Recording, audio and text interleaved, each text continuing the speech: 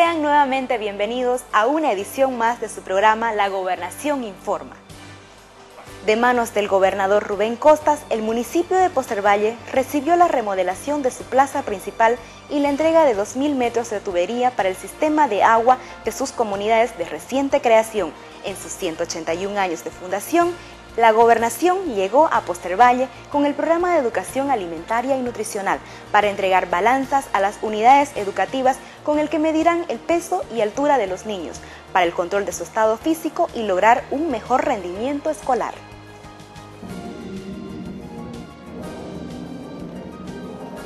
La gobernación continúa con la entrega de obras con recursos de las regalías, esta vez en el municipio de Postrer Valle, de la provincia de Valle Grande, que en el 181 aniversario de su fundación inauguró la remodelación de su plaza principal. Los jóvenes deportistas también recibieron material deportivo consistentes en pelotas de básquet, fútbol, voleibol, tableros de ajedrez, conos, mallas y otros por parte del Servicio Departamental de Deportes de la Gobernación.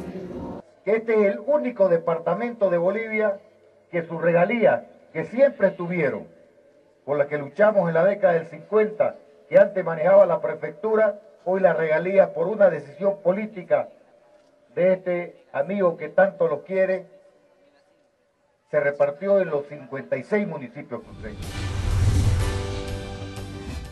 y el barrio 7 de julio celebró sus 18 años de creación en la populosa zona del Plan 3000. Esta vez lo celebró con una feria autonómica organizada por la gobernación que lleva sus programas sociales y de salud para la atención de las familias y de los vecinos.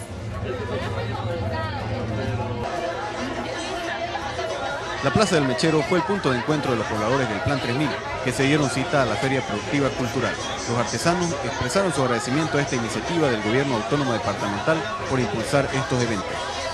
Así es, este, el gobernador con su gran preocupación siempre por llegarle a la ciudadanía está haciendo unas ferias que hemos denominado las ferias autonómicas para llegar a los vecinos en los barrios también, en la ciudad capital, mostrando los servicios que tiene la gobernación para beneficio del ciudadano.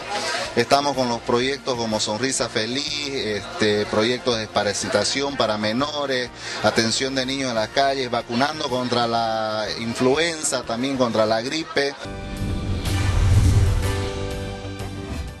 El segundo encuentro nacional de bomberos forestales organizado por la gobernación concluyó con la premiación a las brigadas más destacadas, de las 16 que participaron en las pruebas de resistencia y equipamiento para lucha contra los incendios.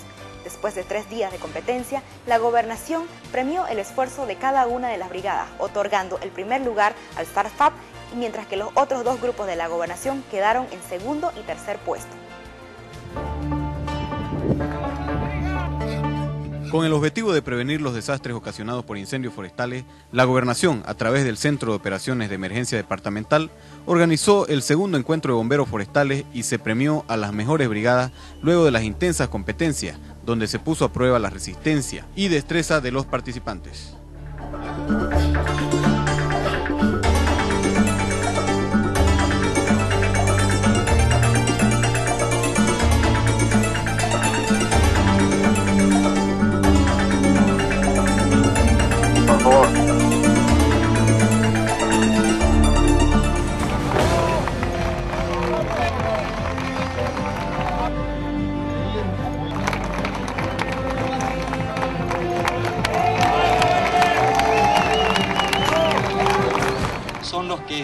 Protegieron a Santa Cruz, salvaron vidas, salvaron producciones, salvaron bienes materiales y es por eso que con emoción me sumo a ese agradecimiento especial que a veces no se les llega con el agradecimiento que deberíamos. A veces no los gratificamos como se debería.